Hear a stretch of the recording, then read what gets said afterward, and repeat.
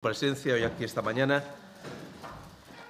Como en ocasiones anteriores les hacemos entrega de toda la documentación relativa a los acuerdos del Consejo de Gobierno, se lo estaremos repartiendo en este momento para que esté a su disposición también durante la rueda de prensa para las preguntas que deseen formular. Y me acompaña el consejero de la Presidencia, a quien le agradezco hoy que esté entre nosotros en relación con el primer punto de la documentación que les hemos ido entregado, que son los preparativos en torno a la conmemoración del 800 aniversario de la Unión de los Reinos de León y Castilla en el año 2030 y cuya conmemoración comienza a prepararse ya.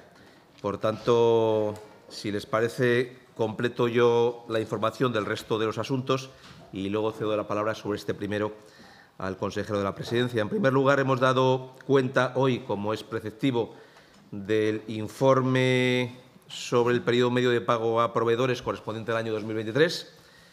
Este año la media de periodo de pago a proveedores en Castilla y León fue 25,9 días, que está claramente por debajo del límite establecido en la normativa nacional, cuatro días por debajo y también por debajo del límite establecido para el conjunto de España. Este es el periodo que pasa desde que se entrega la factura en el registro de la consejería correspondiente por parte del proveedor hasta que desde la tesorería de la comunidad se procede al pago a este proveedor. Es un plazo que está dentro de la normativa, inferior al conjunto nacional y, por tanto, es un dato destacado en lo positivo. Eh, eh, sí que es de significar que el 63% de todas las facturas de la Junta de Castilla y León son de materia sanitaria y, por tanto, es eh, de lejos el principal sector, la principal actividad que genera este tipo de tareas. Nos mantenemos como comunidad autónoma hoy en día en la tercera posición entre las comunidades que más pronto pagan a los proveedores de tecnología sanitaria según los datos que ofrecen estas asociaciones de tecnología sanitaria y, por tanto, este es un reto de los fundamentales, porque, lógicamente, siempre los retrasos se producen fundamentalmente en el ámbito sanitario, somos los terceros que mejor pagamos.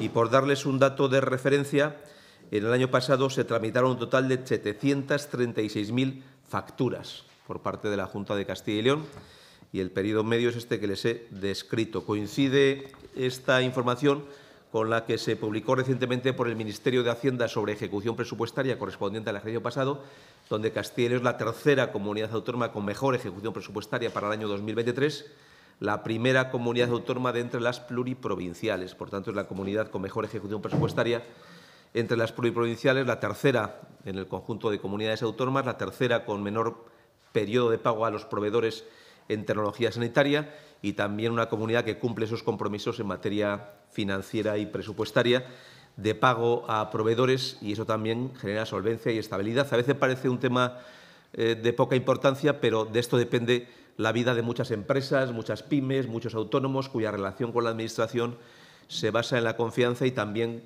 con que la Administración pueda realizar los pagos en los tiempos previstos, que es lo que hacemos desde la Junta de Castilla y León. En el ámbito de la sanidad son varios los expedientes. Un primer expediente de 2,3 millones de euros para las obras de reubicación del servicio de rehabilitación en el Hospital del Bierzo. Este servicio de rehabilitación se ampliará hasta alcanzar los 1.205 metros cuadrados y se prevé además el espacio destinado a la futura unidad satélite de radioterapia. La planta primera se va a destinar, según se establece en el plan funcional de SECIL, ahí va a estar el servicio de rehabilitación, que va a contar con estas obras con un gimnasio, electroterapia, unidad de columna, logopedia, magnetoterapia, terapia ocupacional, rehabilitación cardiológica y respiratoria, rehabilitación infantil, sala de infedemas y consultas externas de rehabilitación. En total, 1.205 metros cuadrados, una inversión de 2,3 millones de euros. Y en la planta inferior se va a encontrar el proyecto para disponer de espacios existenciales destinados a la unidad satélite de radioterapia con lo cual vamos avanzando en el objetivo de extender la radioterapia en Castilla y León. 1,3 millones de euros para suministros sanitarios en los complejos hospitalarios de Burgos y de Zamora.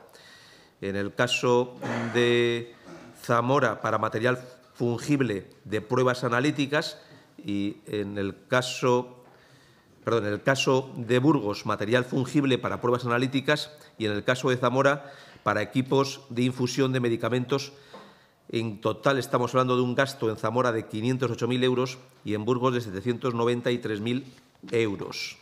600.000 euros para cirugías de oftalmología y traumatología de la Gerencia Sanitaria de Zamora. Se prevé contratar 450 procesos quirúrgicos de oftalmología por un importe de 329.000 euros y 75 procesos de traumatología por un importe de 308.000 euros. Da idea claramente del coste importante que tiene la gestión sanitaria en términos de los procesos quirúrgicos.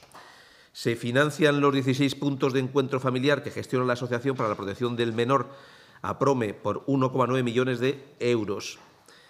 Se continuará así mediando entre familias en conflicto y se garantiza el régimen de visitas sin comprometer la integridad de los menores y de los progenitores que sean vulnerables. Estos puntos son espacios neutrales para garantizar el derecho fundamental de los menores a mantener la relación con sus progenitores y el resto de la familia, puesto que ante una separación, divorcio, acogimiento familiar, se puede ver interrumpida la convivencia familiar, muchas veces se dan situaciones en las que puede verse comprometido también el régimen de visitas y se configura de esta forma este espacio como una zona segura y libre de violencia doméstica mientras se garantiza el cumplimiento del derecho de visita. APROME es una entidad sin ánimo de lucro que lleva bajando, trabajando en el proyecto de puntos de encuentro desde 1994. Hay que tener en cuenta que estos espacios no son solamente seguros para los menores, sino también para las madres o padres vulnerables. Y de esta forma lo que estamos haciendo es garantizar el anonimato del domicilio y especialmente de aquellas madres residentes en casas de acogida que hayan podido sufrir violencia machista y que, por tanto, no solamente estamos abordando la violencia posible contra los menores, sino también previniendo la posible violencia machista con estos puntos de encuentros y con esta inversión de 1,9 millones de euros. 100.000 euros para el desarrollo de un proyecto de educación emocional en colaboración con la Fundación Eusebio Sacristán. Se va a realizar en el Parque La Roca Multiaventura, ubicado en Palencia, y va a contar con la participación de 2.500 alumnos. Este es un espacio idóneo para estas actividades que están descritas en la documentación que les ha sido entregado en el día de hoy y 2,1 millones de euros para intervenciones diversas en el Centro de Alto Rendimiento del Complejo Deportivo Ríos Gueva en Valladolid. Son fondos financiados con el Mecanismo de Recuperación y Resiliencia y con esta actuación se prevé conseguir una mejora de la eficiencia energética y una reducción estimada del 66% de la demanda de energía primaria del edificio, por tanto, un ahorro de dos tercios de esta demanda de energía en este edificio, lo que contribuye, sin lugar a dudas, también al ahorro energético y a la lucha contra las emisiones de gases de efecto invernadero. Y sin más, cedo la palabra al consejero de la Presidencia en relación con el primer punto del orden del día. Eh, buenos días, gracias, portavoz. Mm, el primer punto del orden del día de, la Junta de Gobierno de hoy, del Consejo de Gobierno, ha sido la autorización del órgano de Gobierno sobre la constitución de la Fundación para la Promoción de los Valores y la Identidad de Castilla y León.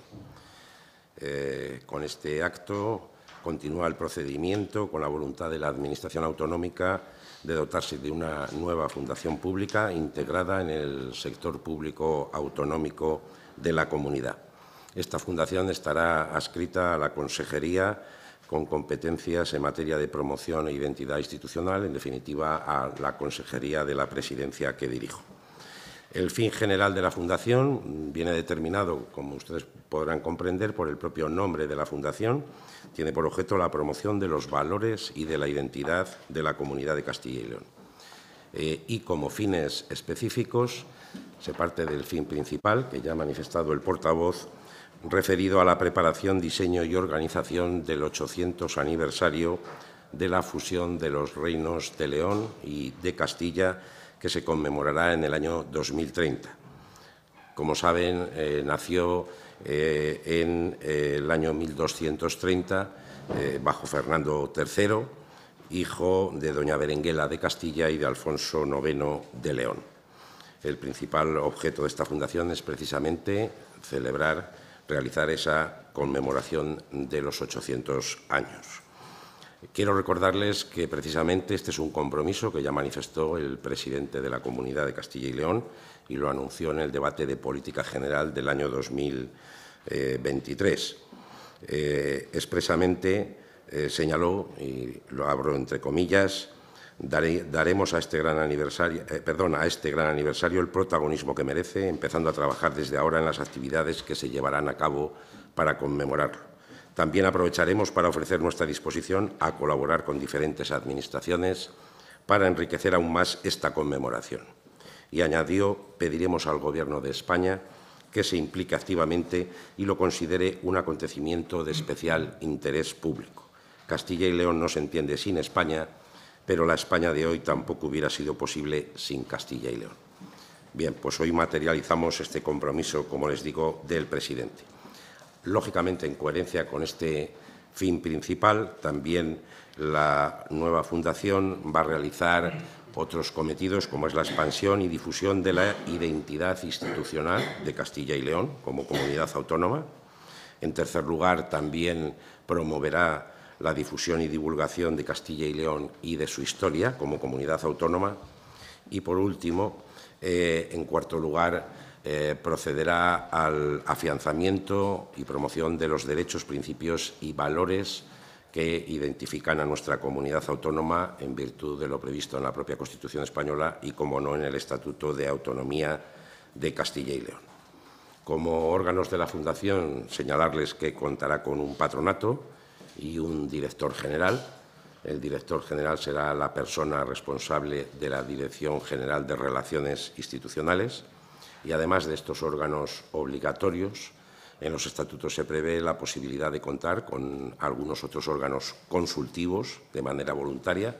Por un lado, una comisión ejecutiva, que en todo caso realizaría aquellas funciones que le delegue el patronato, y asimismo podrá existir un consejo asesor con carácter general que eh, promueva qué tipo de acciones o, proponga qué tipo de acciones va a realizar la Fundación, así como la posibilidad de constituir comités asesores específicos para alguna actuación que por su importancia lo requiera. En todo caso, el desempeño del puesto de patrono es gratuito para todos los que lo integran y componen. En cuanto a la composición del patronato, decirles que eh, hay un máximo de 17 personas y eh, son ya personas eh, que componen dicho patronato, el titular de la Consejería de la Presidencia, quien les habla. Eh, también estarán el secretario general de la Consejería de la Presidencia, por el objeto de esta fundación la directora general de Relaciones Institucionales y el director de Comunicación. Y asimismo participan las consejerías de Hacienda, de Educación y de Cultura.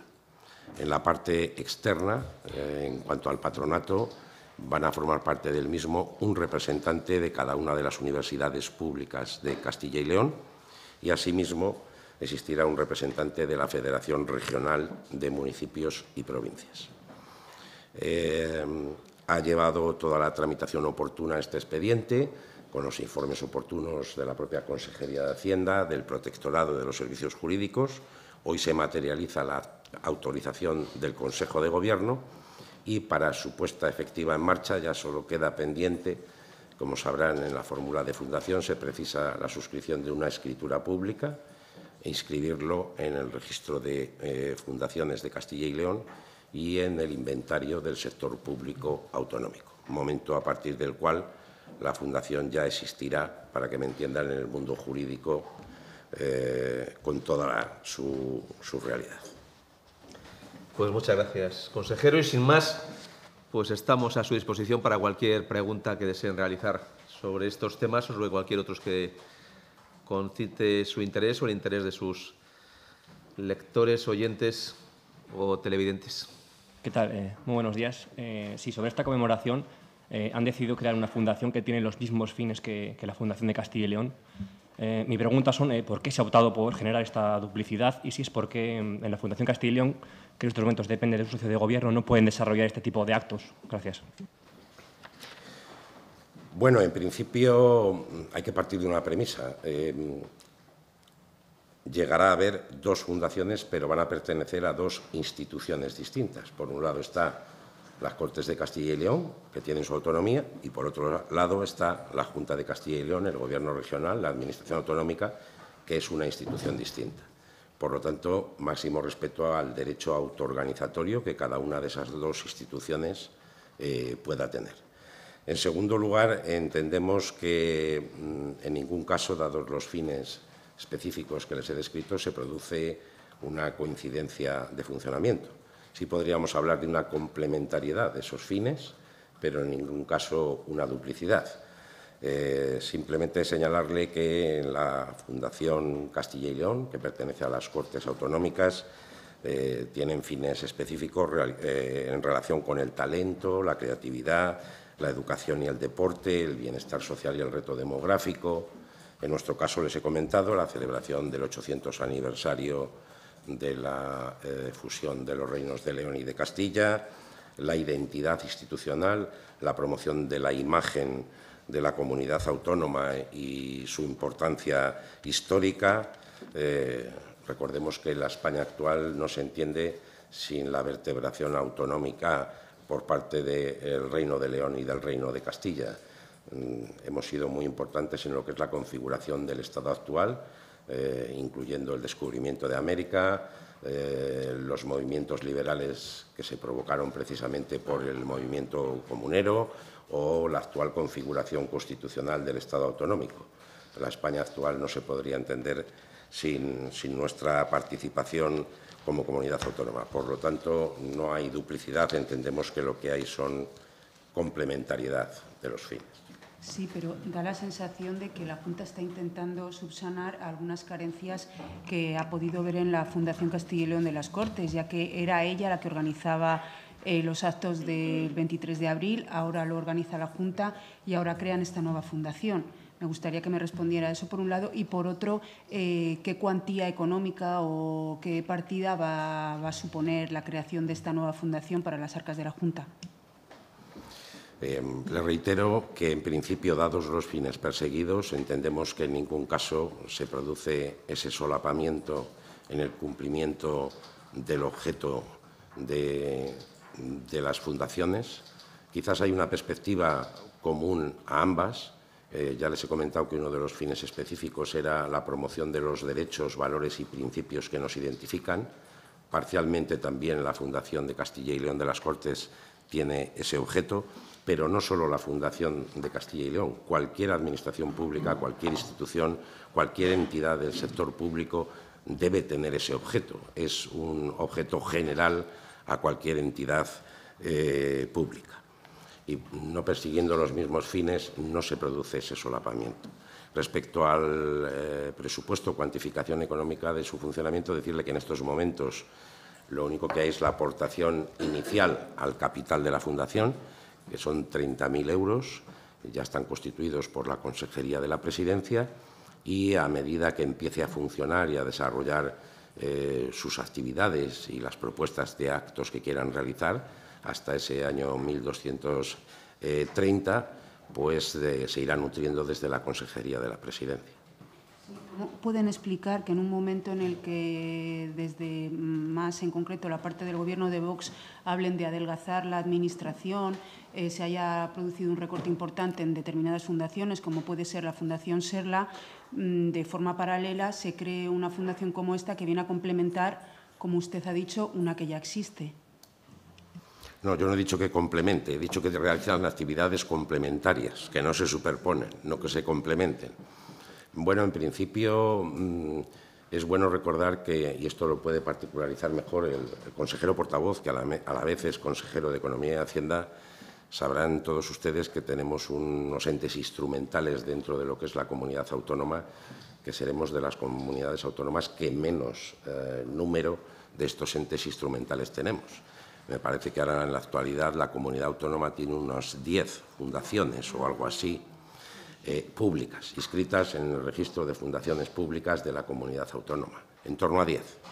Si lo comparan con los entes instrumentales y fundaciones que tienen el resto de comunidades autónomas y sobre todo lo comparan con los entes instrumentales de los que se dota el Estado, estamos muy por debajo de lo que pueda ser un perfil, entre comillas, eh, excesivo en el número de, corporaciones de este tipo eh, que tenemos. Em, consideramos, y lo consideramos todo el Gobierno, por eso se ha adoptado en el Consejo de Gobierno, que este es un ente necesario. Tenga en cuenta que este tipo de actividad, la que va a desarrollar, em, no es fácil que se pueda desarrollar por la propia Administración General, por los órganos gestores habituales. Eh, tiene un objetivo específico, la conmemoración, y eh, va a ser mucho más ágil a nivel de propuesta y de asesoramiento el hecho de contar con una entidad eh, como es una fundación pública. ¿Están satisfechos con el trabajo que se está realizando en la Fundación Castilla y León? Yo creo que a nosotros no nos corresponde esa valoración. Mm, es una valoración que tienen que hacer las propias Cortes, donde están los grupos políticos representados. Eh, cuentan con un patronato muy amplio, completamente distinto al que yo eh, les he manifestado que integran el patronato de esta fundación de promoción de los valores y la identidad de Castilla y León. Eh, marca un poco el objetivo precisamente que tiene aquella fundación y como tal pertenece a una institución distinta y no entramos a valorar en qué medida pues está cumpliendo o no con los objetivos para los que fue eh, creada. Sí, hola. Perdón. Hola, buenos días. Dice que es un ente necesario. Eh, no sé si es un ente necesario ahora, lo ha sido, lo era antes también. ¿Qué ha motivado a la Junta para crearla exactamente ahora? Porque la Fundación de Castilla y León está vigente desde hace bastantes años, desde 2003. Eh, le reitero, básicamente el objetivo principal de la Fundación es una conmemoración, conmemoración que se va a producir dentro de seis años. Eh, si queremos que efectivamente eh, ese año la comunidad de Castilla y León tenga una visibilidad a nivel nacional e internacional importante y participar, el hecho de que puedan colaborar otras administraciones públicas en tal efemérides, incluyendo al Gobierno del Estado, eh, creemos que es el momento oportuno y no puede ser eh, más adelante para crear esta fundación, porque eh, una conmemoración de ese tipo, como pretendemos realizarla, exige unos tiempos que se prolongan de manera dilatada y, por lo tanto, estamos en la fecha clave para poder acometer esa conmemoración con garantías de eficacia y lo que pretende la comunidad autónoma como tal hacerse más visible todavía, si cabe, a nivel nacional e internacional. Eh, este, bueno, lo primero eh, que quería comentarle era, mm, esta es la fundación número 16. En torno a 10 queda un poco corto, yo creo. Eh, tienen ustedes ya 15. Y mm, quería saber si, si el objetivo es celebrar la unión de los reinos de Castilla y de León en, en el año 2030 ¿No creen que es un trabajo que podría hacer la, Consejería de Cultura y Turismo, que, tiene presupuesto y que nos cuesta un dinero y que mm, entiendo que el tipo de conmemoración va a ser histórica, va a ser cultural, va a ser de tipo turística y que parece que responde más al cometido de, la Consejería? Eh, ¿Es posible que ustedes no quieran dejar esta celebración en manos de Vox? No, en principio no tiene nada que ver con lo que es la particularidad de un departamento o de otro. Se ha entendido que esa conmemoración eh, es transversal a todo el Gobierno regional. Precisamente, si analizan la composición del patronato, dos de sus miembros es la directora general de Relaciones Institucionales, que abarca no solo a la comunidad autónoma, sino al resto de administraciones públicas, la Dirección de Comunicación, que lógicamente también es transversal, y por lo tanto consideramos todos, incluyendo cultura, que sí que participa dentro del patronato, que puede ser mucho más eficaz y eficiente el funcionamiento de la Fundación si se articula de esta manera que si no se atribuye a una consejería en concreto. Y, en segundo lugar, como consejería propiamente dicha, también le he comentado la dificultad que, dado el objetivo que se promueve, que hay en lo que es los órganos habituales de la Administración General de poder abordar un proyecto de este, de este tipo ha dicho que la aportación inicial son de 30.000 euros. No sé si han calculado después de esa aportación inicial cuánto puede costar la puesta en marcha de esta fundación anualmente. Si nos puede concretar un poco dónde va a estar su sede, un poco los detalles más de funcionamiento. Bueno, su sede va a estar aquí en, Valladolid, eh, en unos locales eh, públicos mm, que forman parte del patrimonio autonómico, de tal manera que en principio no va a haber un coste eh, externo a ese elemento en la calle Vinos de Rueda, aquí en Cobaresa. Eh, y, lógicamente, eh, como ahora nace, la Fundación habrá que ir viendo las propuestas de actividades eh, conmemorativas y de divulgación y de patrocinio que la propia Fundación va proponiendo. yo creo que es bueno dejarla nacer y ver esa evolución y, por lo tanto, eh, yo creo que de cara al próximo presupuesto autonómico podemos tener una cifra más clara de en torno a qué presupuesto va a movilizar, por lo menos en estos primeros años de, de funcionamiento. Sí, decía que nacía con el objeto de la conmemoración. No sé si una vez que se llegue ese 2030 se dará por extinguida la Fundación o seguirá en paralelo a la Fundación de Castilla y León. Sí, tiene ese, ese, principal fin. También os he comentado otros tres fines, el de la, promover la identidad eh, institucional, promover eh, el reconocimiento de la historia de la comunidad autónoma y de los principios, valores y derechos que reconoce nuestro estatuto. Eh, eso se va a hacer hasta llegar a esa fecha y yo creo que una vez que pase esa fecha será el momento de evaluar el cumplimiento general de esos objetivos y decidir, si así lo considera el Gobierno regional, eh, su continuidad o no en función de, esos resultados y de esa evaluación en perspectiva ya eh, de una serie de años de funcionamiento. Sí, hola, buenos, buenos días. Usted ha hablado de que es más eficiente hacerlo desde una fundación, todo, todo este, este, este programa de actividades, ¿no? Eh, yo no lo acabo de entender. Es decir, eh, ¿por qué es más eficiente hacerlo desde una fundación? La administración de la Junta de Castilla y León, las consejerías, no son eficientes. Es un tema de perspectiva de servicio público. Nosotros con esta fundación no descubrimos lo que es una gestión pública directa por parte de las administraciones generales. Eh, ocurre en la Junta de Castilla y León, ocurre en las demás comunidades y ocurre en el Estado. Y la necesidad puntual que pueda tener una administración de dotarse de un ente instrumental, como es el, de acudir a una fundación, a un sistema fundacional. Lógicamente, las fórmulas de eh, contratación y de justificación eh, que tienen las administraciones generales están sujetas a unos plazos superiores y, sin embargo, en el régimen de fundaciones, más allá de que están completamente fiscalizadas posteriormente en sus cuentas, eh, actúan de manera mucho más rápida. Las mismas ventajas tiene esta comunidad autónoma con esta fundación que el resto de administraciones públicas donde existen muchísimas fundaciones. Es una perspectiva de agilidad fruto precisamente de la actividad concreta y del objeto que persigue la fundación.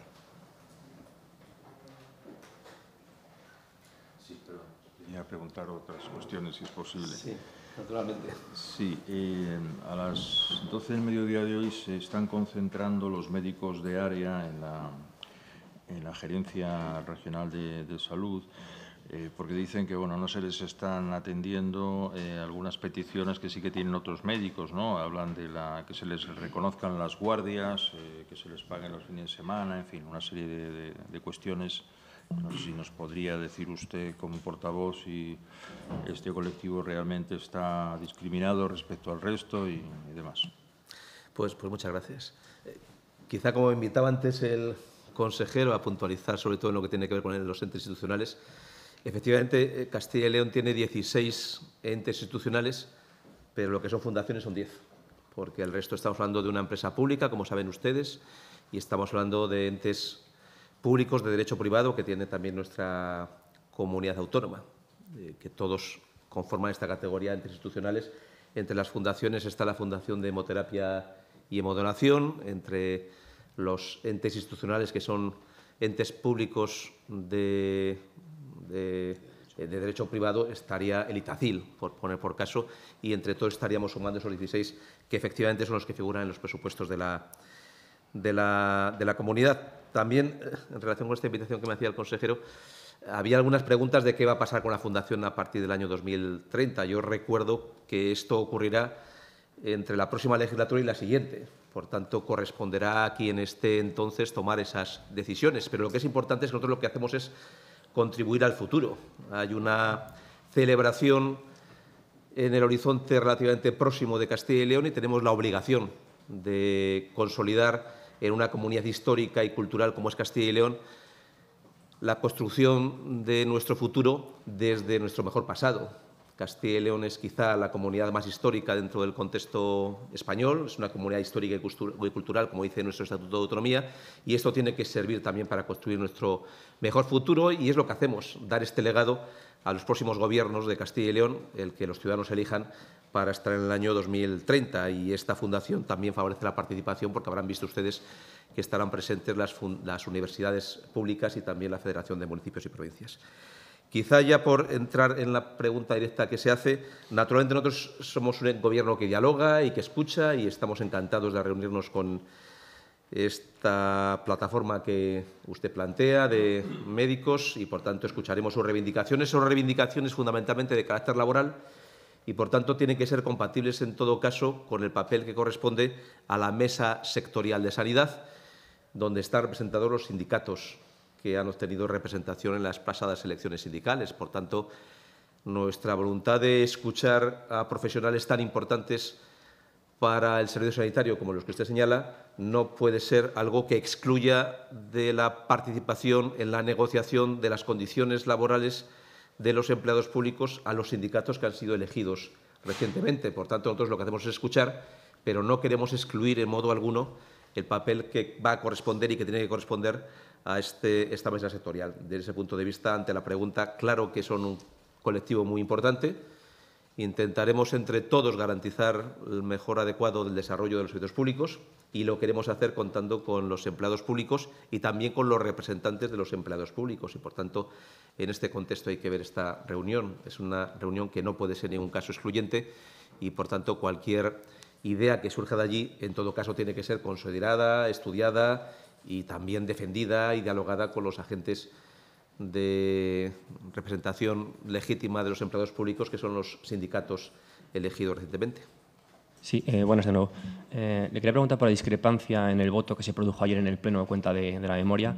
No sé si se trató de un distanciamiento calculado con su socio de, gobierno por la polémica que se ha generado estos días y si esto abre la puerta que se enmiende el texto para incluir a otras fuerzas, como ocurrió con el decreto de 2018. Y luego, aprovechando que también está aquí el consejero de la presidencia, quería preguntar por los actos alternativos que se han programado en León, o para contrarrestar los no sé, de la Junta por el Día de la Comunidad. No sé si creen o temen que estos actos puedan opacar a los oficiales que, que, tiene programados la Junta. Gracias. Pues sobre el primer punto hubo un debate parlamentario ayer en las Cortes de Castilla y León y, por tanto, hay que tener respeto a la actividad del debate parlamentario. La opinión que cuenta en los debates parlamentarios son las de los grupos políticos que se manifestaron. Hubo, además, una decisión muy unánime en torno a esta posición de las Cortes de Castilla y León, que nosotros como Gobierno lo que hacemos es respetar, porque para eso es el Parlamento de Castilla y León, que es al que le corresponde estas decisiones y al que le corresponde tramitar la ley. Entonces, mm, ¿ustedes respetan la decisión del Grupo Parlamentario de pronunciarse en la condena de la dictadura franquista, pero a la vez como Gobierno eh, asumen eh, eliminar la condena de la dictadura franquista que, por otro lado, se producía en el anterior decreto mm, que se hizo en la última fase de, la legislatura de Juan Vicente Herrera y que ustedes van a derogar. Yo creo que la posición... Entiendo. Es que, no, es que no se puede entender. Eh, y creo que no lo han explicado suficientemente. Y a la vez, cuando ustedes no le dan importancia a haber eliminado la condena a la dictadura, pero después eh, hay este pronunciamiento en, las Cortes, es muy difícil entender lo que han hecho. Usted lo está diciendo muy bien. Eh, las Cortes presentan una proposición de ley, dieron sus explicaciones, las Cortes debatieron ayer una proposición no de ley, dieron sus explicaciones y nosotros tenemos nuestra posición que el presidente de la Junta ha manifestado muchas veces y aquí en esta sala muy clara de condena a la dictadura franquista pero también de respeto al trabajo parlamentario que tienen que hacer las Cortes de Castilla y León. Eh, ¿Usted entiende que eso no tiene ningún sentido? Respetar el trabajo de las Hombre, Cortes. el grupo parlamentario, hasta donde yo sé, es el Partido Popular, eh, la otra parte del Gobierno es el Partido Popular y no puede ser que el grupo parlamentario vaya por un lado y el Gobierno por otro. ¿O me está usted diciendo que es la misma cosa? ¿No? están yendo ustedes. Es, que están, claro, pero, pero siendo del mismo partido, están tomando decisiones que son diferentes y contrarias. ¿No? No, porque. pues no. Mire, nuestra posición es muy clara, muy firme. Desde la condena a la dictadura franquista, tenemos un firme compromiso con el apoyo a las víctimas de cualquier tipo de violencia, incluyendo a todas las víctimas que han sido objeto de violencia por motivos ideológicos, religiosos y sociales. Y esta es la labor fundamental, proteger a las víctimas, ayudar a las víctimas, restaurar la situación de las familias que buscan a las personas que pueden estar enterradas y que, por tanto, se les pueda reconocer el papel y tener la dignidad que merecen como personas. Y este es el papel muy claro porque nosotros tenemos un claro compromiso con las víctimas y eso es plenamente compatible con nuestra denuncia, nuestro rechazo de la dictadura franquista. ¿Por qué no aparece entonces? ¿Por qué aparecía en el decreto y se ha eliminado de la proposición de ley? ¿Y cuántas víctimas consideran ustedes que hay eh, desde 1931 al 36 y del 36 en adelante? Miren, nosotros no tenemos que identificar aquello que corresponde al conjunto de... eh, me dice usted ¿cuáles son las, cuántas son las víctimas. Pues eso es lo que naturalmente nosotros tenemos que proteger, que todas las víctimas, todas. Nosotros no vamos a excluir a ninguna. Si yo le diría, o le dijera, perdón, si yo le dijera ahora una cifra, sería una cifra que excluiría a algunas víctimas. Todas las víctimas merecen la protección. Y eso es lo que nosotros queremos hacer. Ha habido una presentación de una iniciativa parlamentaria Habrá una ley, si finalmente la hay, y nosotros la cumpliremos, dando garantía, que es el mensaje que queremos dar, de que el elemento central de nuestra acción pública tiene que ser la protección de los derechos y de la dignidad de todas, de todas las víctimas, que sean por razón de violencia ideológica, violencia religiosa y violencia social. Son las víctimas las que tienen que ser el centro de nuestra atención respecto de de nuestra acción y ninguna víctima, y esta es la garantía que le quiero dar, va a quedar desamparada. Y todas las víctimas tienen que ser protegidas y todas las familias tienen que ser apoyadas en su derecho a garantizar la dignidad de estas personas. Entonces estaba mal el decreto de Herrera, ¿no? Sí, creo que lo he explicado en alguna ocasión. El decreto del año 18 lo que hace es desarrollar una ley del año 2007. Esa ley del año 2007 se cambia por parte del Gobierno en el año 2022. Esa ley del año 2022, como ustedes recordarán, es una ley inspirada, apoyada y escrita en algunos párrafos concretos por Bildu. Y ahora hay que regular la normativa autonómica conforme a los cambios establecidos en una ley del año 2022, poniendo en el centro a las víctimas. Y sacando la dictadura franquista. ¿no? La dictadura franquista está reconocida por el Parlamento de Castilla y León ayer mismo. Ya, pero no en la ley. Sí, una pregunta sobre este tema. Mm, No sé si me equivoco, pero la proposición de ley tiene que contar con un informe de la Junta ¿no? para tramitarse. No sé si la Junta se puede plantear o podría introducir a través de ese informe eh, la posición clara que acaba de, de trasladar, la condena a la dictadura franquista. No sé si se podría o si ese trámite es posible. El informe, Si se lo plantean. Sí, el informe que corresponde a la Junta de Castilla y León desde el punto de vista económico. Y, por tanto, la capacidad que tenemos de veto de si alguna norma tuviera un coste económico que pudiera no encajar con el volumen del presupuesto que estamos manejando. Por tanto, la capacidad que se nos da al Gobierno de Castilla y León y a todos los ejecutivos cuando se nos da esta posibilidad de vetar la tramitación de una proposición de ley en un Parlamento es desde el punto de vista del contenido económico y su implicación sobre el conjunto del presupuesto, no sobre la valoración del debate parlamentario que corresponde a los debates parlamentarios. Dicho de otra forma, nosotros lo que tenemos que hacer es garantizar el cumplimiento de una ley, para eso son leyes, y tenemos que asegurar que los créditos existen, y esa es nuestra posición que nos corresponde y que nos da el reglamento del Parlamento. No nos da la posibilidad de controlar al Parlamento, es al revés. Es el Parlamento quien controla las Cortes, de- al- el Parlamento quien controla al Ejecutivo de Castilla y León. No sé si ve factible que los grupos mm, popular y socialistas se pongan de acuerdo en una enmienda que pueda incluir esta condena expresa que, que manifiestan ustedes públicamente y, y que no recoge la ley. Pues ese es el trabajo que tiene que hacer el Parlamento. Para eso están las próximas semanas. Hay una cosa muy positiva, que se comienza un debate, hay tiempo para el debate. Aquí no estamos hablando de una iniciativa que se presente como lo que es la ley de amnistía con el fin de romper el consenso parlamentario, con el fin de romper el consenso constitucional y con el fin de impedir cualquier tipo de debate. Se está ante un procedimiento, da lugar al debate y el debate se está produciendo y, por tanto, dejemos trabajar a las Cortes de Castilla y León, que esa es su tarea, y dejemos que los representantes de los ciudadanos de Castilla y León pues, ejerzan su tarea y, finalmente, lógicamente, como es natural, pues las Cortes de Castilla y León tomarán la decisión que estime como oportuno y conveniente.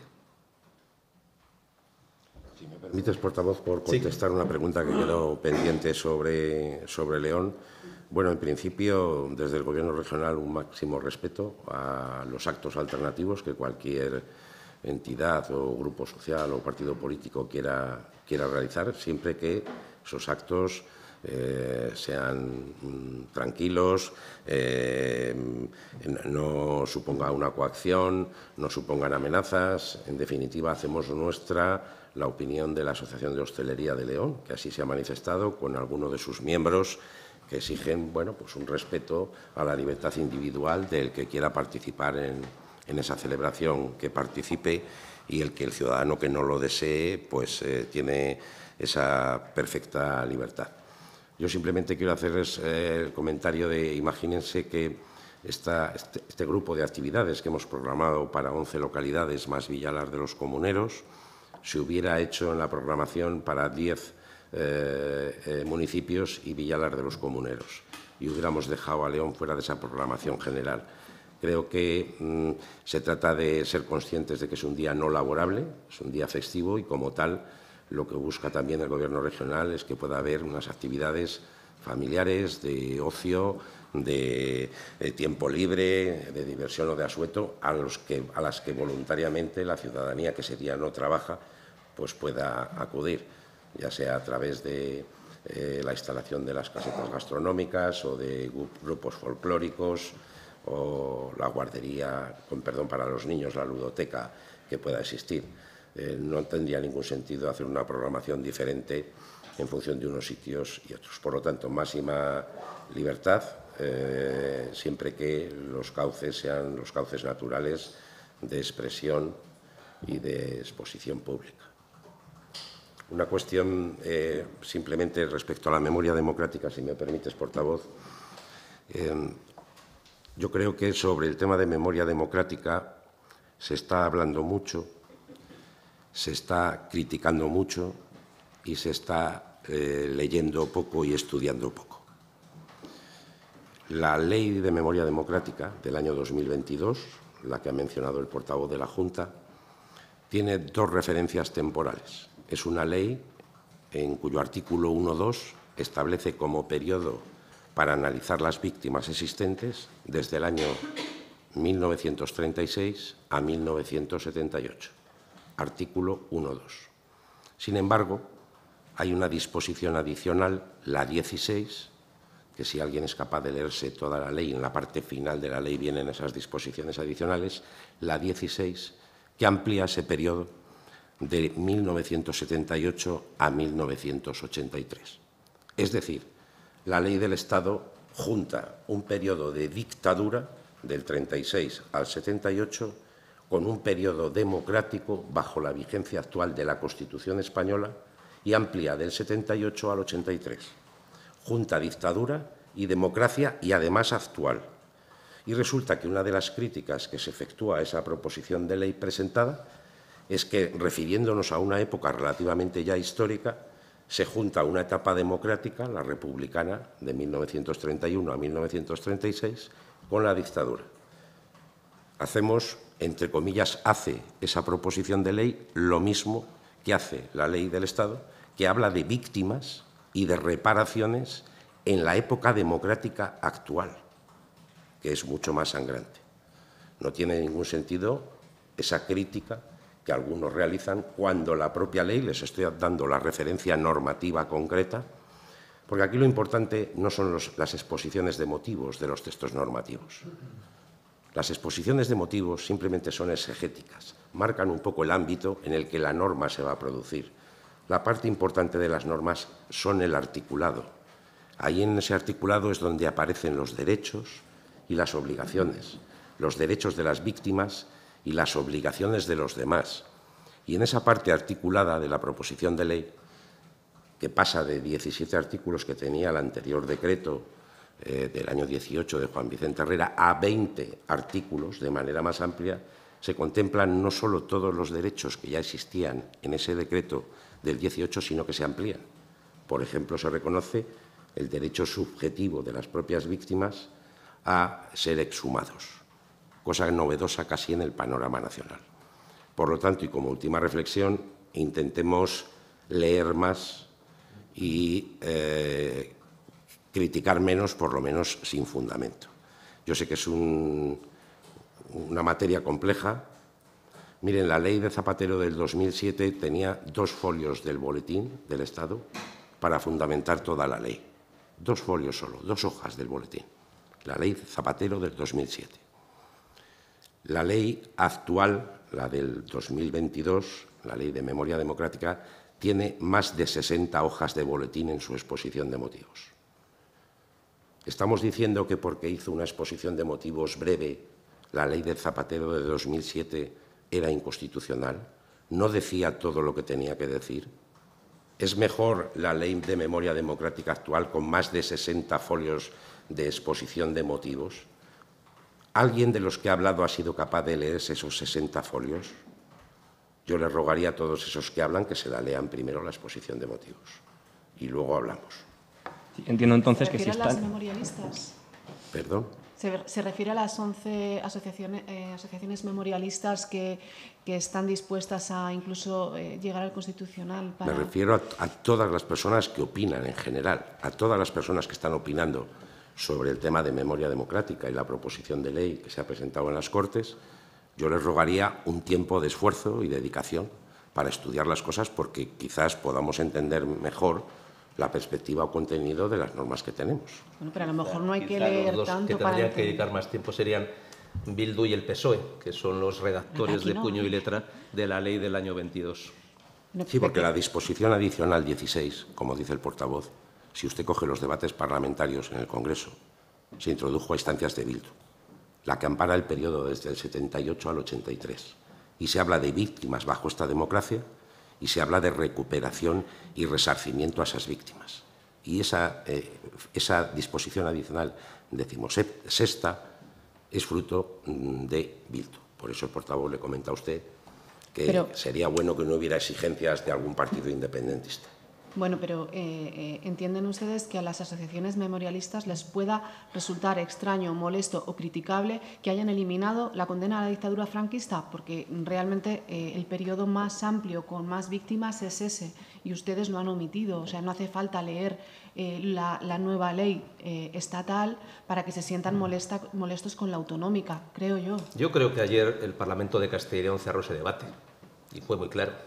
Si queremos hablar solo de eso, podemos hacerlo, pero nosotros ayer en Castilla y León hubo un debate, las Cortes de Castilla y León se pronunciaron en el mismo sentido que los hemos hecho históricamente y nosotros tenemos muy claro que el elemento central son las víctimas y en eso nos queremos centrar. Si queremos repetir en el próximo pleno el debate que tuvo ayer, pues lógicamente es casi seguro que el resultado sea el mismo, de una mayoría muy amplia, muy contundente del Parlamento de Castilla y León en el sentido que se manifestó.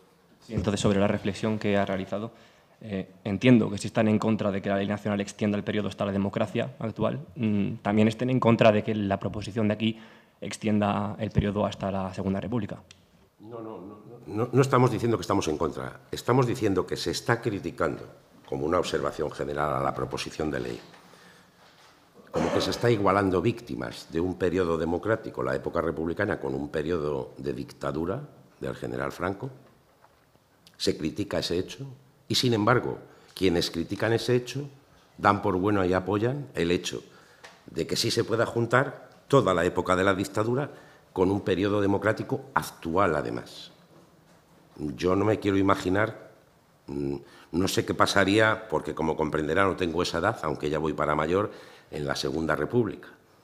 Pero no me quiero imaginar la gente que puede pensar de qué violencias se han producido del 78 al 83 bajo la vigencia actual de la Constitución y si ésta no les ha protegido. Yo no negaría en ningún caso la validez, eficacia y buen resultado de nuestra Constitución de 1978, que sí que ponen en entredicho, en esa ley de memoria democrática, algunos de los que hablan. Quería preguntarle al portavoz sí. sobre eh, una propuesta que ha hecho Faconauto, eh, eh, que bueno, solicita a la Junta de Castilla y León eh, que haga suya una medida que ha tomado la Junta, la Junta de Galicia, para incentivar la compra de vehículos eh, híbridos o eléctricos, renovando el parque de vehículos antiguos. Creo que mm, los vehículos de más de 10 años se les da una ayuda de entre 3.000 y 4.000 euros. Yo no sé si la Junta de Castilla y León se, puede plantear este tema. Nosotros, de hecho, tenemos en marcha en Castilla una deducción fiscal. Somos de las propias de las pocas comunidades autónomas tenemos una deducción fiscal específica, y aprovecho la ocasión también que está en la declaración de la renta para significarlo, de 4.000 euros por la adquisición de un vehículo eléctrico o híbrido recargable de 4.000 euros y, por tanto, animamos a todas las personas que se quieran beneficiar de esta ayuda, lo puedan hacer. A esto se une la subvención, que es compatible respecto del plan MODES, que también tramitamos desde la Junta de Castilla y León, que hace que adquirir un vehículo de estas características es especialmente ventajoso en Castilla y León. Nuestra prioridad, en todo caso, tiene que ser apoyar al sector productivo. Yo creo que el principal problema que existe en este momento es la dificultad de muchas personas para saber qué tipo de vehículos quieren adquirir y, por tanto, que exista una norma que dé seguridad, que dé confianza, sería lo más oportuno y, por tanto, que el conjunto de las Administraciones contribuyamos desde la neutralidad tecnológica a garantizar este hecho. Nuestro apoyo al sector del automóvil es muy evidente y es muy claro y fundamentalmente lo hacemos a los trabajadores del sector y a la propia industria del automóvil, donde queremos hacer una concentración especial de los recursos, más fundamentalmente en torno a todo lo que tiene que ver la actividad productiva, la innovación y la generación de la industria tractora en Castilla y León. ¿Hay alguna pregunta más? Sí, bueno, eh, preguntaba qué tipo de violencia se había producido en democracia. No sé si niegan la violencia de los GAL o si esta no de los GAL y si esta no debería estar incluida en la ley de memoria democrática. Mm, usted sabrá que es por los GAL. Desde luego, en esa disposición adicional 16 uno lee y no aparece eh, ningún grupo terrorista concreto, oficial u oficioso. Mm, yo lo que sí le digo es que aparece un periodo donde se habla de víctimas y donde se habla de resarcimiento de esas víctimas. Periodo 78 31 de diciembre de 1983. Tenemos cuatro intervenciones de compañeros de diferentes provincias. Si os parece, vamos a abrir ese turno ahora, dando paso en primer lugar a Begoña Rincón, de Segovia Audaz. Cuando quieras, Begoña, adelante. Hola, muy buenos días a todos. Eh, ¿Qué opinan de la propuesta del ministro Puente de poner el nombre de Concha Velasco a la estación de Campo Grande? Y en general, en ese sentido, en esa línea, si, lo ven bien, ¿qué propuestas se podrían hacer desde Castilla y León? Por otro lado, la indignación de los usuarios de Renfe en Castilla y León no para de crecer, como ya comentábamos hace unos días. La consejera de Movilidad envió una carta al presidente de Renfe pidiendo una reunión urgente, así como soluciones y explicaciones. ¿Han recibido ya respuesta o la Junta tiene algún plan para ayudar a estos ciudadanos de Castilla y León? Pues desgraciadamente no hemos tenido ninguna respuesta. No sé si a ustedes les responderá el Gobierno en esta materia, a nosotros no nos ha respondido. Sí que hemos insistido desde hace muchísimo tiempo en la necesidad de dar seguridad y confianza a los viajeros, de saber los horarios, de mejorar las condiciones. Y es verdad que a día de hoy lo que hemos tenido es la calle por respuesta. Eh, desgraciadamente el ministro al que usted se refiere está dedicando sus equipos a otras cosas distintas de mejorar la vida del conjunto de los ciudadanos y nosotros estamos por mejorar la vida del conjunto de los ciudadanos, no por controlar ni perseguir a los medios de comunicación, a los columnistas ni a los periodistas. Y en cuanto al nombre de una estación de trenes, cuando es de ámbito local y se decide un nombre local, yo creo que también hay un papel muy importante por parte de las corporaciones locales, de los ayuntamientos, y aquí nuestra posición tiene que ser la misma que la que mantenga el Ayuntamiento de Valladolid y su alcalde, y esto es de referencia para el resto de las corporaciones locales de nuestra comunidad autónoma. Seguimos ahora con Soria Noticias. Encarna Muñoz, cuando quieras, buenos días. Hola, buenos días. Aprovechando la presencia del consejero de Presidencia, me gustaría conocer el argumento para la retirada del apoyo económico a los clubes de atletismo de máxima categoría. Creo que la razón esgrimida es que consideran este deporte mm, menos mediático que otros que se han recibido ayudas como son el rugby o el baloncesto en silla de ruedas. ¿En qué datos se han basado para tomar esta decisión? Muchas gracias. Muchas gracias por, la pregunta. Mm, bien, em, estamos hablando de em, dos políticas distintas que conviene diferenciar.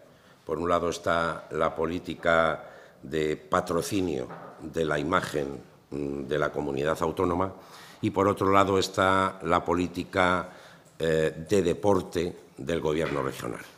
Eh, el tema de los patrocinios eh, a nivel de identidad institucional es un tema relativamente reciente que nació en esta comunidad autónoma por este Gobierno hace como un par de años, buscando precisamente eh, trasladar la importancia de la Junta de Castilla y León, de la Comunidad de Castilla y León, y a través de aquellas entidades deportivas que tenían esa trascendencia o esa importancia.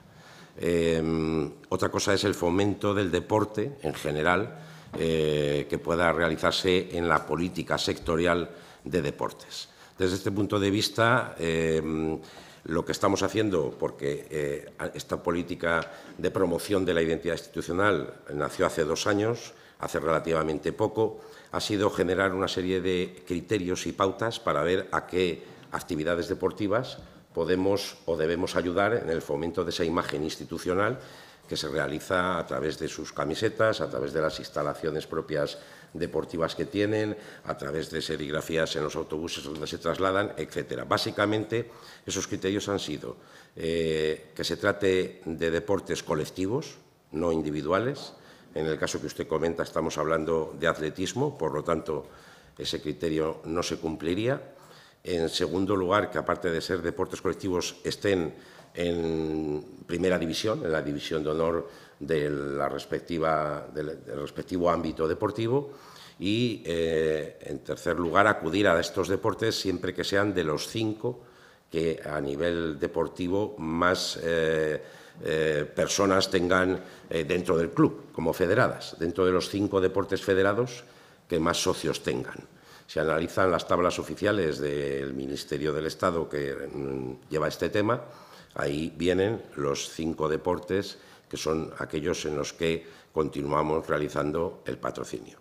En definitiva, mm, dada la expansión que estaba cogiendo eh, estas ayudas, que vuelvo a decir, son de patrocinios de identidad institucional, no deportiva, por lo tanto no se entra a valorar lo buenos y lo importantes que sean esos deportistas eh, o esas personas de atletismo que usted comenta, sino dar un cauce con unas reglas claras y fijas que permita en el conjunto de las nueve provincias de la Comunidad Autónoma de Castilla y León ver con qué entidades deportivas eh, hacemos ese patrocinio de identidad institucional.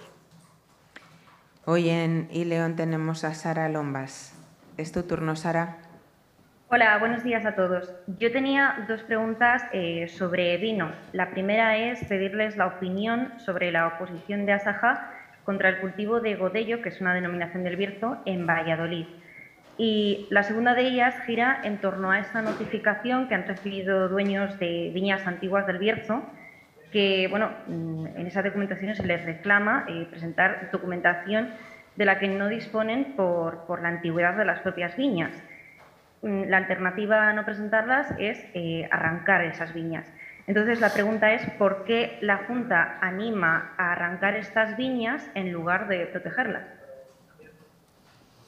pues me hace dos preguntas de las cuales desgraciadamente no tengo mucho conocimiento, mm, pero le podemos dar con más detalle. En primer lugar, si la uva Godello se puede o no sembrar en Castilla y León por parte de los agricultores que no sean mm, de origen vinculados a la misma, pues desconozco. Desconozco si esta uva está prohibida más allá de una concreta denominación de, origen. Hasta donde yo sé, las dos denominaciones de origen de León, que son Bierzo y Tierras de León, una está vinculada a una uva que es Mencía y otra Prieto Picudo, pero no sé si hay alguna limitación respecto de la siembra de viñas de Godello en otro sitio distinto de esas denominaciones de origen y además tampoco es la uva de referencia de las mismas. Y en segundo lugar, Respecto de esta documentación, lógicamente, nosotros trabajamos siempre en apoyo de los agricultores.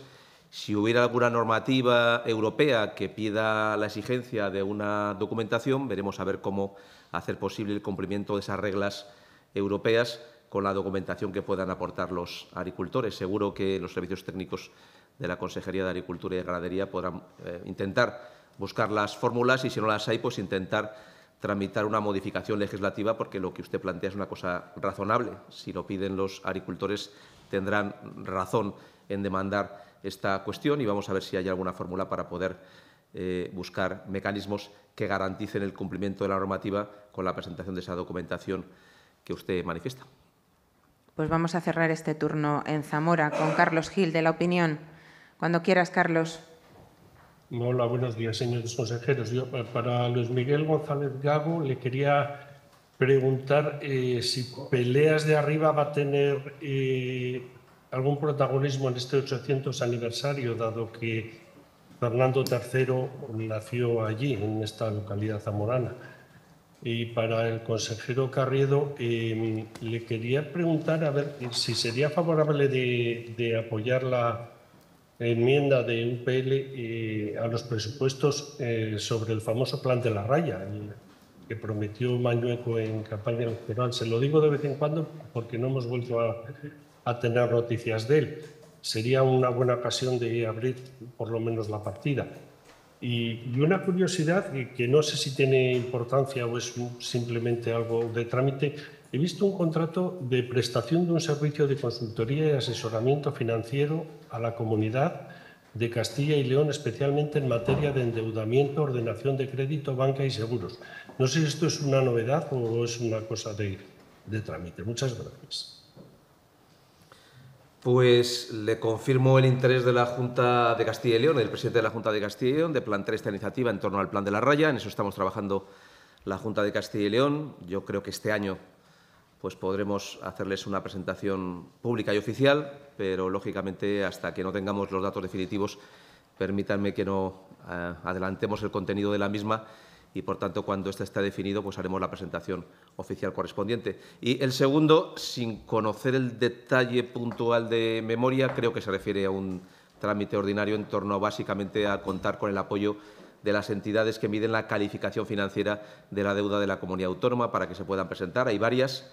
En los últimos años saben ustedes que Moody's, que es la que ha hecho esta referencia, pues nos ha otorgado una clasificación muy relevante y aprovecho la pregunta que usted hace para también anunciarles una referencia a este hecho que ya se hizo pública, que es que Moody's ha mejorado la calificación financiera de Castilla y León y la calificó en el ejercicio 2022 como calificación estable y la ha evolucionado hacia calificación positiva y, por tanto, desde este punto de vista, la nuestra es una comunidad autónoma que es solvente desde el punto de vista de la deuda. Tenemos la máxima calificación posible que se puede otorgar a una comunidad autónoma en España y esta es la calificación que nos ha otorgado Moody's. Y esto lo que nos permite también es acceder al mercado en unas condiciones favorables, no depender exclusivamente del FLA y también poder acceder a que sean actores privados los que confíen en nuestra comunidad autónoma y, por tanto, esta calificación financiera la que usted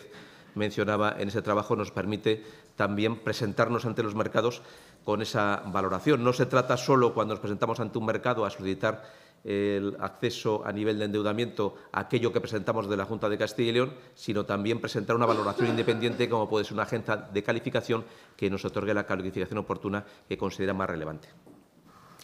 ¿Alguna? Sí. Sobre lo que Perdón, perdón, perdón. sobre lo que con- preguntaba acerca de, de si hay previsto algo en la celebración de ese 800 aniversario en la localidad de Peleas de, de Arriba de Zamora, eh, tengo que significarle que me lo, me lo apunto. Lógicamente son muchas las localidades, eh, en general, eh, dentro del contexto de la Comunidad de Castilla y León, vinculadas a ese aniversario, eh, e indudablemente lo que haré será trasladar una vez que eh, se constituya el patronato, la necesidad y conveniencia de ir viendo qué localidades se ven afectadas por esta efemérides y, lógicamente, tenerlas en cuenta a la hora de, a la hora de plantear el conjunto, el conjunto de acciones. Eh, le hablo también de Cabreros del Monte, en la provincia de Valladolid, eh, donde doña Berenguela suscribió importantes acuerdos. En general, todos los ayuntamientos y entidades locales que se ven afectadas por la conmemoración. Se estudiará y, y lo tendremos, lógicamente, en cuenta. ¿Alguna pregunta más? Pues aquí terminamos. por favor. Ah, perdón. Perdona, es Encarna Muñoz de Soria. Adelante, Encarna. Eh, Encarna. eh, no sé si es, si es que no me he enterado bien, pero me ha parecido eh, mm, entender que la Junta no considera el atletismo un deporte de, de equipo. Correcto, no está calificado como un deporte de equipo. Dentro de lo que se configura normalmente, no quita que pueda haber una carrera de relevos, pero normalmente el atletismo es un deporte individual. Así está calificado a nivel, a nivel oficial, digámoslo así. Un equipo de fútbol, un equipo de balonmano, un equipo de baloncesto son equipos. en principio el atletismo es un deporte individual. Ahora sí, cerramos. Gracias. Pues muchas gracias.